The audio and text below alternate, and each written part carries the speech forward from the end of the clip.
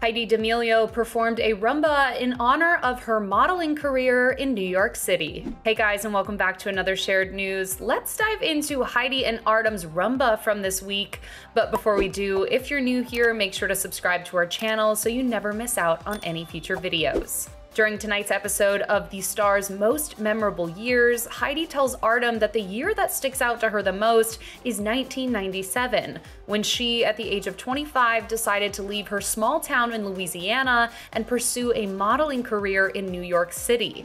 She said while this was an extremely risky move, it actually ended up paying off, and she quickly booked a runway gig, which was rare at the time due to her height. She also mentioned that this was the time that she met and started dating her now husband, Mark, and as such wanted to perform the song to the dance Can't Keep My Eyes Off of You, which not only reminds her of falling in love with Mark, but at the time, finally falling in love with herself. The two took to the dance floor for a slow and sensual rumba, which definitely captivated everyone in the audience.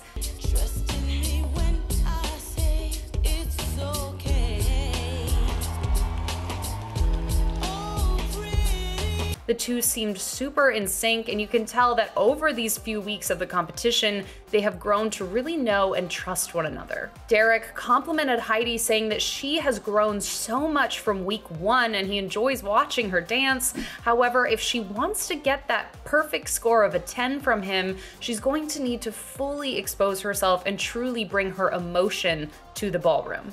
Bruno said that the dance was sensual and seductive and that her leg placement was spot on. Carrie Ann said that she doesn't know if she's ever seen someone grow so consistently every week in the competition during her time as a judge. So clearly she and Derek are on the same page that week one to now, they've seen a huge improvement in Heidi. So, based on her trajectory, who knows? She could end up at the top of the leaderboard right next to her daughter Charlie. And Len finished the critiques by saying he really liked the feeling of this dance, saying that the Rumba is about a growing love story, which is totally what Heidi and Artem brought to the floor.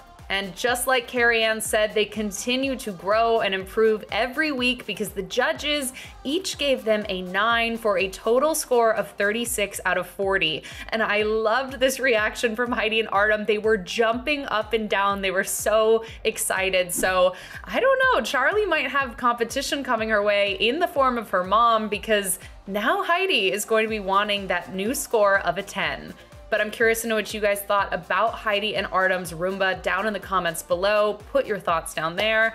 And before you go, make sure to like this video and subscribe to our channel so you never miss out on any future videos. I'm your host, Alison Van Dam. My social handle is on the screen right now if you want to come say hello. Thank you guys so much for watching, and I'll see you in the next one. Bye.